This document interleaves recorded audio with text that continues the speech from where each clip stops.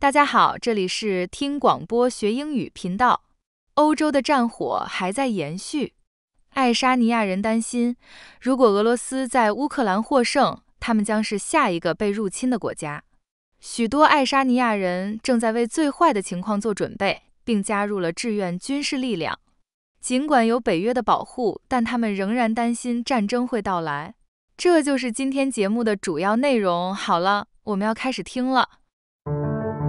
Today on State of the World, invasion worries in Eastern Europe. Thanks for listening to State of the World from NPR. We bring you the day's most vital international stories up close where they're happening. I'm Greg Dixon. Is Europe at risk of being engulfed by war? That's the view of some European nations bordering Russia. They're afraid that if Russia is successful in Ukraine, they'll be invaded next, even though they're part of the NATO alliance. Estonia is an alliance member and a former Soviet republic. NPR's Philip Reeves talked to people there who are preparing for the worst. These days, this is where West meets East. A cold wind is racing across the fields from the nearby Baltic Sea. The Russian border is just a short ride down the road. I've come deep into the countryside in eastern Estonia. I'm surrounded by this flat farmland. I can see a pine forest on the horizon.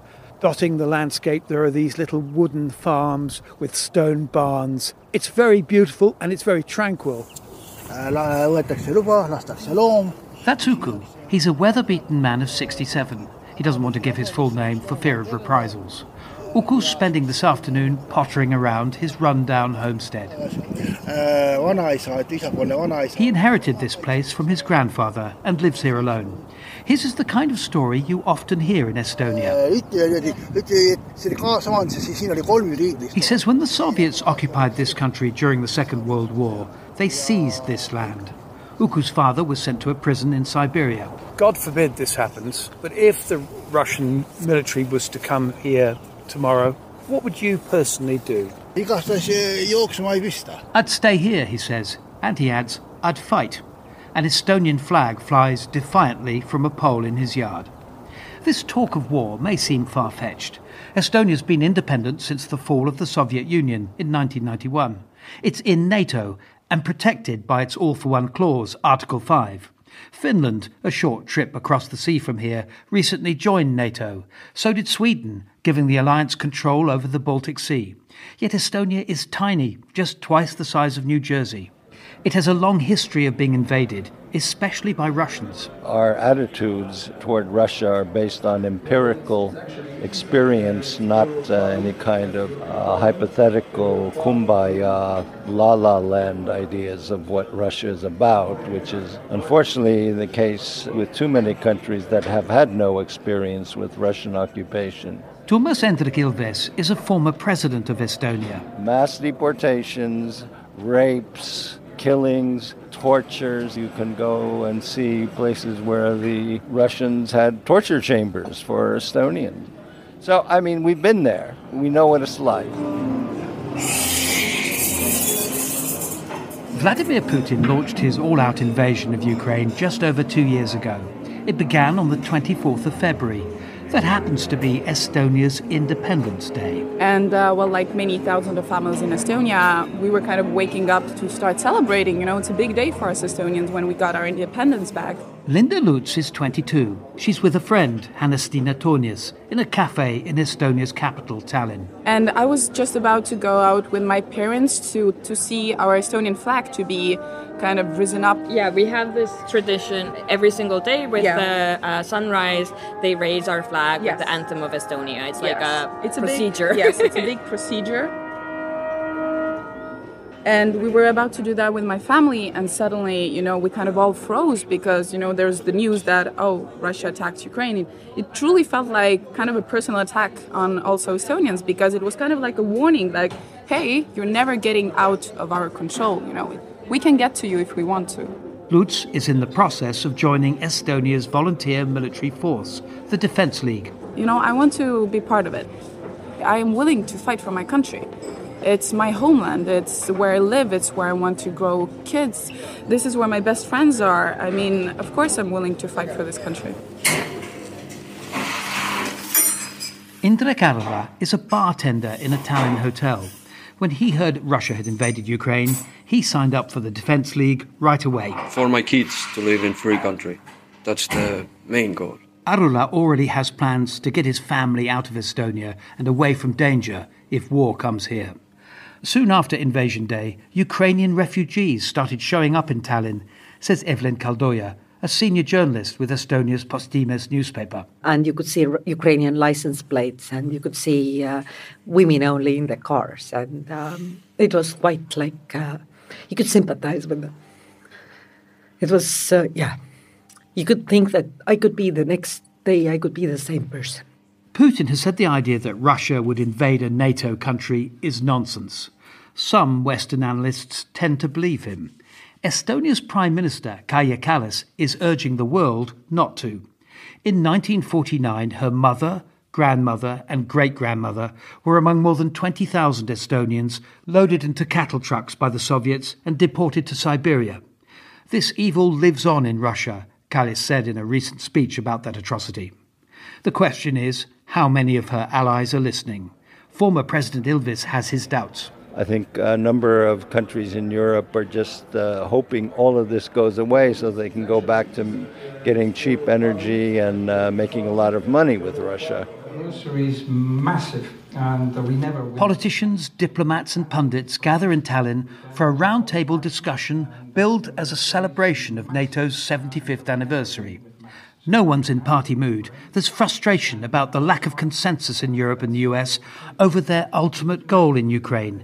Is it to prevent Russia achieving outright victory, laying the ground for negotiations, or outright victory for Ukraine? General Riho Terras is a former commander of Estonia's armed forces and a member of the European Parliament. It is clear that we have to define what is the end state we need to achieve, and then, from my opinion, is that uh, Russia has to lose the war in Ukraine. By lose, Terras means out of uh, territory of Ukraine, full stop. Many Estonians fear that if that doesn't happen, Putin could seek to test NATO and Article 5 by entering the Baltics, despite the risk of triggering nuclear war. The Allies must stand up to Russia says Marko Mihkelson, chair of the Foreign Affairs Committee in Estonia's parliament. All of them. I don't believe that anybody in the United States who seriously is interested about national security of the United States can uh, say it is secure if Europe is not secure. Putin's aim is to divide Europeans and Americans and destroy NATO, says Mihkelson. That makes Russia a global problem. Their aim is to destroy current world order to define new multipolarity in this world where the United States dominance is gone. And together with China, we will define new rules for this world. Estonians are making their feelings clear outside the Russian embassy in Tallinn. There's a long railing absolutely covered with pictures, posters, condemning what Russia's doing in Ukraine, condemning the death of Alexei Navalny, the Russian opposition leader who died recently in prison. There are piles and piles of flowers, there are candles, there are notices calling for Russia to be held accountable. Even here, there are shades of grey. About a quarter of Estonia's population are ethnic Russians, many of whom moved here in Soviet times. They speak Russian and tend to live separately. When the war broke out, this segregation it became basically a big problem. Sergei Metlev is editor in chief of the Russian edition of Postimees. Where you have one third of local Russians who are pro Putin, one third who are neutral and don't want to do anything about this, and one third who decided to uh, choose kind of you know this Western Estonian narrative. People basically were forced in a way to make decisions. Estonia's government's applying pressure it's banned shows of support for Moscow, removed Soviet statues, and deported pro Putin activists. For some, all this talk of war is overwhelming. Mostly I'm worrying about surviving here, about what I gonna eat in next month. Anton is 22. He doesn't want to give his full name for fear of reprisals. Half his family is in Russia. He lives in a village in eastern Estonia and says he's working three jobs to make ends meet. Anton says he and his friends have zero interest in taking up arms. Nobody will fight here because we don't have any any hope here. We just need to help our families. Yet most of this country would fight, says Metlev. We survived one Soviet occupation with huge losses for our country. Every fifth Estonia disappeared in Soviet Gulag prison camps or fled Estonia. And there is no alternative reality for us uh, besides fighting if there is a need to fight. As he potters around his yard in the biting wind, Uku is hoping that won't happen. Along this eastern frontier, there'll soon be hundreds of bunkers which Estonia's building just in case. Here, history and the present are entwined. Putin wants to rebuild the old Russian Empire, says Uku, and if he's not stopped in Ukraine, we'll all have a problem. Philip Reeves, NPR News, Tallinn. That's the state of the world from NPR. Thank you for listening.